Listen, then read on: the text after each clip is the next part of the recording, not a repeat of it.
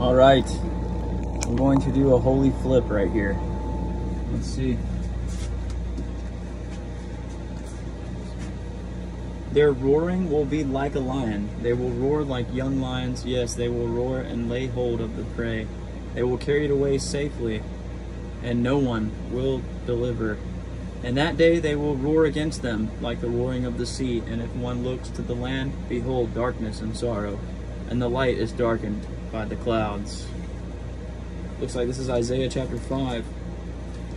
Oh, the next chapter is 6 about Isaiah being called to be a prophet. Huh. Yeah, God's disappointing vineyard is what this this is uh this chapter is about. Let's read the whole chapter. And well, I I landed on the end and that day they will roar against them like the roaring of the sea. Let's read the whole verse. Uh, chapter 5, Isaiah. Now let me sing to my well beloved a song of my beloved regarding his vineyard. My well beloved has a vineyard on a very fruitful hill.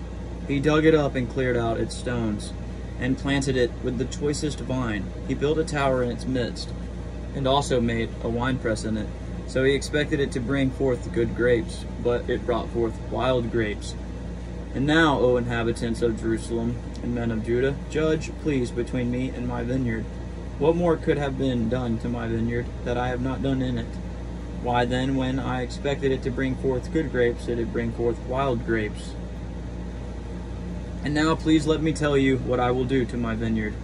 I will take away its hedge, and it shall be burned, and break down its wall and it shall be trampled down. I will lay it waste. It shall not be pruned or dug, but there shall come up briars and thorns. I will also command the clouds, that they rain no rain on it. For the vineyard of the Lord of hosts is the house of Israel, and the men of Judah are his pleasant plant. He looked for justice, but behold oppression, for righteousness, but behold a cry for help. For righteousness, but behold a cry for help impeding judgment on excesses is the next verse. Woe to those who join house to house. They add field to field, till there is no place where they may dwell alone in the midst of the land. In my hearing, the Lord of hosts said, Truly many houses shall be desolate, great and beautiful ones, without inhabitant. For ten acres of vineyard shall yield one bath, and a homer of seed shall yield one ephah. Woe to those who rise early in the morning, that they may follow intoxicating drink who continue until night, till wine inflames them. The harp of the strings, the harp and the strings, the tambourine and flute and wine are in their feasts. But they do not regard the work of the Lord, nor consider the operation of his hand hands. Therefore my people have gone into captivity because they have no knowledge. Their honorable men are famished, and their multitude dried up with thirst. Therefore, therefore Sheol has enlarged itself and opened its mouth beyond measure. Their glory and their multitude and their pomp. And he who is jubilant shall descend into it. People shall be brought down, each man shall be humbled, and the eyes of the lofty shall be humbled. But the Lord of hosts shall be exalted in judgment, and God who is holy shall be hallowed in righteousness. Then the lambs shall feed in their pasture, and in the waste places of the fat ones strangers shall eat. Woe to those who draw iniquity with cords of vanity, and sin as if with a cart rope, that say, Let him make speed and hasten his work, that we may see it, and let the counsel of the Holy One of Israel draw near and come, that we may know it. Woe to those who call evil good and good evil, who put darkness for light and light for darkness, who put bitter for sweet and sweet for bitter. Woe to those who are wise in their own eyes and prudent in their own sight. Woe to men Woe to men mighty at drinking wine, woe to men valiant for mixing intoxicating drink, who justify the wicked for a bribe, and take away justice from the righteous man. Therefore, as the fire devours the stubble, and the flame consumes the chaff, so their root will be as rottenness, and their blossom will ascend like dust, because they have rejected the law of the Lord of hosts, and despised the word of the Holy One of Israel. Therefore the anger of the Lord is aroused against his people, He has stretched out his hand against them, and stricken them, and the hills trembled. Their carcasses were as refuse in the midst of the streets. For all this, his anger is not turned away, but his hand is stretched out still. Glory to God. He will lift up a banner to the nations from afar. This is where I'm getting to where we the holy flip landed. He will lift up a banner to the nations from afar, and will whistle to them.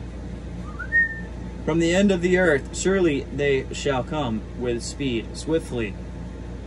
No one will be weary or stumble among them. No one will slumber or sleep. Nor will the belt on their loins be loosed, nor the strap of their sandals be broken, whose arrows are sharp and their bows bent. Their horses' hoofs will seem like flint, and their wheels like a whirlwind. Their roaring will be like a lion. They will roar like young lions. Yes, they will roar and lay hold of the prey. They will carry it away safely, and no one will deliver in that day. They will roar against them like the roaring of the sea, and if one looks to the land, behold darkness and sorrow, and the light is darkened by the clouds.